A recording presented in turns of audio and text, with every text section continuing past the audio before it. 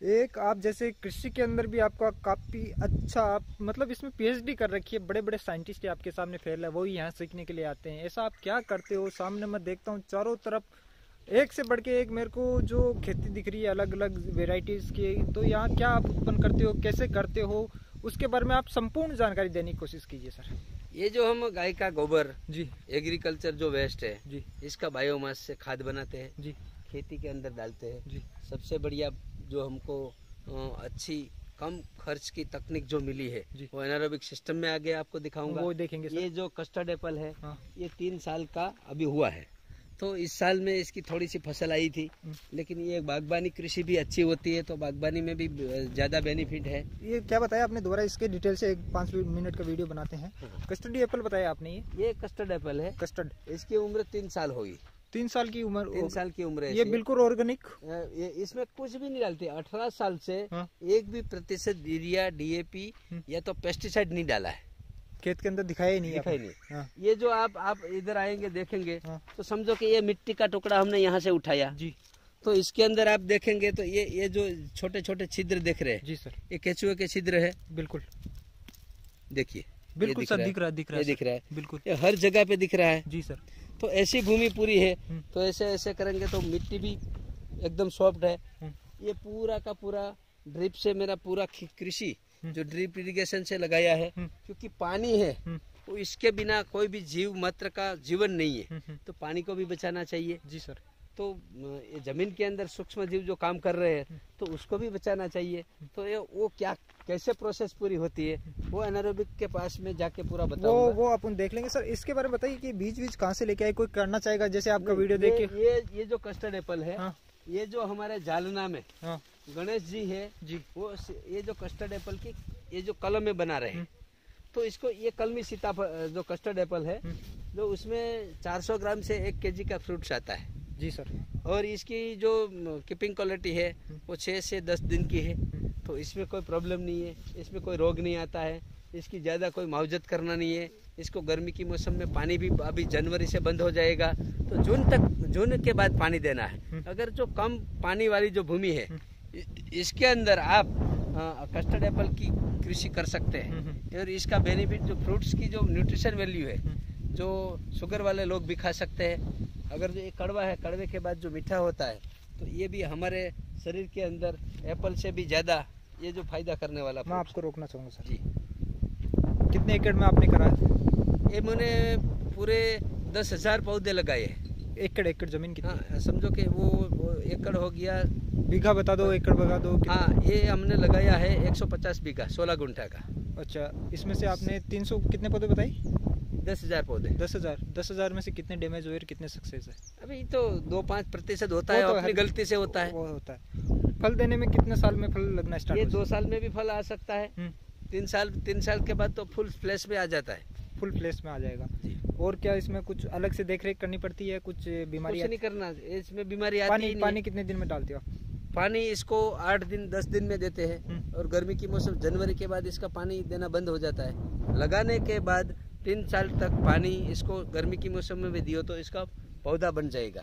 एक सर, ये भ्रम सा फैल रखा है लोगों के अंदर कि जो एप्पल होती है वो अपने हिमाचल, कश्मीर, जो ठंडा एरिया है, क्लाइमेटिक जलवायु के हिसाब से सेटअप होता है। पर आपने सारे जो भी ये फैक्ट्स के सबको एकदम फेल करके आपने सामने रख दिया। आप जीतते जागते एक उदाहरण के तौर पर देख सकते हो। अगर आप कर सकते हो तो और किसान भाई भी कर सकते कर हैं सकते पर सब क्या लोग कर किन चीज़ों को मेन उनको फैक्टर्स को मैं पूरे भारत में जहाँ किसी भी घास का। घास का तिनका नहीं निकल सकता जी। वहाँ मैं अच्छी से अच्छी कृषि कर दूँगा कोई भी चीज़ की। आप आपके ये एरिया में पॉसिबल है? आपके खेत में पॉसिबल है? ऐसा आप क्या अलग कर रहे हो कि किसान भाई नहीं कर पा रहे हैं? उनको थोड़ा सा धरातल से नॉलेज नहीं है। वो क्या है कि जो पूरी प्रकृति के साथ जुड़ जाएगा। जी। समझो कि पाँच हज़ार टीडीएस का पानी है। जी। तो अल्कलाइन है पानी। हम्म, तो वहाँ फ़सल नहीं हो सकती जीव नहीं रह सकते। जी। वही भूमि में मैं नंदनवन बना सकता हूँ। भारत की कोई भी भूमि है। उसका लेकिन इसके साथ मेरे साथ गाय होनी चाहिए। तब भी ये बनेगा। ये मेरी कोई ताकत नहीं है। मैं तो मैनेजमेंट का ये काम करने वाला एक मजदूर प्रकृति का मजदूर हूँ हम्म, और प्रकृति में जो भी काम करता हूँ वही प्रकृति मुझे देती है। समझो कि आईएएस अधिकारी का जो तनख्वाह है वो ज़्यादा है। जी सर। क्लार्क की इतनी है। जैसा काम करेंगे ऐसी प्रकृति हमको तनख्वाह देगी। बिल्कुल सर फ़सल के स्वरूप में। जी सर जी सर। आगे चलते आगे भी काफ़ी अच्छी खेती है सारा। ये कौन सी खेती कर रखी है आपने? हाँ ये तो पेड़ के ऊपर ऐसे ही आता आता है। तो यहाँ हमारे इसको जो फ्रेंच बीन बोलते हैं हाँ। वालोर बोलते हैं इसको। तो ये कोई भी पेस्टिसाइड के बिना समझो कि ये लगती रहती है पूरे घर में हम ऐसी हेल्दी हम्म, सब्ज़ियाँ इसकी बना के खाते हैं। ये जो थोड़े अमरूद लगाए हैं यहाँ लोग आते हैं तो कुछ खाने की चीज़ रहती है। अमरूद की कौन सी वेरायटी है ये? ये जो हमारे ये देसी पिंक वाला आता है ना हाँ। वो सफ़ेद और पिंक हाँ। तो ये लगाया है तो ये क्या है कि यहाँ ये ज़्यादा छोड़ नहीं है हम्म। एक सौ के आसपास है। ये पूरा हमने जंगल कृषि बना के रखा है। कोई भी समझो कि ये इसकी लकड़ियाँ है हम्म। इसके पौध पेड़े है तो वो सब हमने यहाँ ज़मीन के ऊपर छोड़ के रखा है। ये कुछ चीज़ जलाते नहीं है ऐसे ही इसमें छोड़ देते हैं।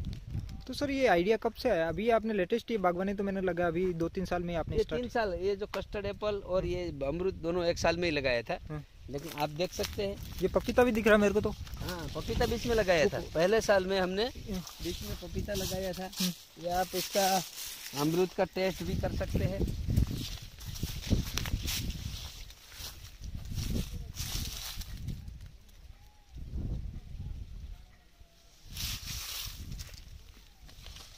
काफ़ी अच्छा शानदार सर ये तो जो मार्केट में आता है उससे तो लाख गुना बढ़िया सर क्या ऐसा होता है? उनमें केमिकल फ्री है किसकी वजह से इतना? से केमिकल तो डालते ही नहीं है। हम्म, केमिकल की ज़रूरत भी नहीं है। ये जो जंगलों में जो फ्रूट होता है कहाँ केमिकल की आवश्यकता है? पर सर ये तो एकदम हरियाणा ये तो हमने ये ये सब लोगों ने ऐसा बना के रखा है कि केमिकल के बिना नहीं हो सकता। हम्म। ऐसी दिमाग में से जो गलत सोच है वो निकालना ही पड़ेगा तभी हमें पूरे भारतवर्ष की कृषि को सफल बनाएँगे। इसी को रहते मेरे दिमाग में क्वेश्चन आ गया। किसान है वो पंद्रह बीस साल से केमिकल यूज़ कर करके उसको खराब कर रखा है। जी। उसी को ऑर्गेनिक में कन्वर्ट करने में मिनिमम से मिनिमम कितना टाइम लग सकता है? गौमूत्र और गोबर से सर गौमूत्र है वो रेसिड्यू फ्री करने में सबसे ज़्यादा इसका रोल है। हम्म, वायरस को खत्म करने के लिए हम्म। गौमूत्र का सबसे बढ़िया रोल है हम्म। अगर ज़मीन को रेसिड्यू फ्री करना है हम्म। तो जुआरी या बाजरा जी दो बार लगा दो हाँ। तो कम से कम दो साल में पूरा भूमि इसकी पीएच भी लेवल हो जाएगी और इसका रेसिड्यू भी फ्री हो जाएगा दो साल के अंदर दो साल के अंदर और आप जैसा आप मैं सामने जैसे खेती दिख रहा हूँ वो किसान भी कर सकते हैं कर सकते हैं ये पपीता का क्या सक्सेस नहीं हुआ? क्या ये नहीं ये ये हल्दी है। ये नहीं हल्दी का तो मैं देख रहा हूँ पपीता का भी मैंने एक दो पे पहले जब ये पहले साल में पौधा छोटा था हाँ। तो ये बीच में जगह ऐसे ही खाली पड़ी जी सर। तो मैंने इसमें पपीता लगा दिया। जी। तो इसमें एक प्रति प्लांट हम्म। 120 किलो का उत्पादन लिया हुआ है। मैंने जो आपको फ़ोटो में दिखाई थी पपीता हम्म, की जी सर। पपीता की साइज़ मेरे यहाँ दो किलो से लेके साढ़े पाँच किलो तक की हुई थी। वो इसी गौमूत्र और गोबर की देन। है। एक इसमें पानी की कितनी अगर जैसे दूधराज एरिया में हमारे बाड़मेर जैसलमेर हो गया वहाँ पानी की कितनी कमी होती है। कितना सफिशियंट पानी चाहिए होता है कितना उस हिसाब से? नहीं नहीं ये जो आम ऐसे ही ऐसे ही किसान कृषि कर रहा है हाँ। तो इसमें सौ लीटर पानी चाहिए तो मैं तीस लीटर में मेरी कृषि कर रहा हूँ। अगर फर्टिलाइज़र नहीं डालेंगे हम्म, तो अपने आप तीस प्रतिशत पानी कम हो जाएगा। क्या बात है जैसे गर्मी की मौसम हमें तले हुए पूरी भजिया खा लेते हैं हाँ हाँ। तो रेगुलर दिन से तीन गुना ज़्यादा पानी पीना पड़ता पानी है और पेट को तकलीफ़ भी होती बिल्कुल है। होता सर। तो ऐसे ही जिसके भूमि के अंदर आप फर्टिलाइज़र डालेंगे केमिकल डालेंगे हम्म। तो पानी इसकी आवश्यकता तीन गुनी बढ़ जाएगी।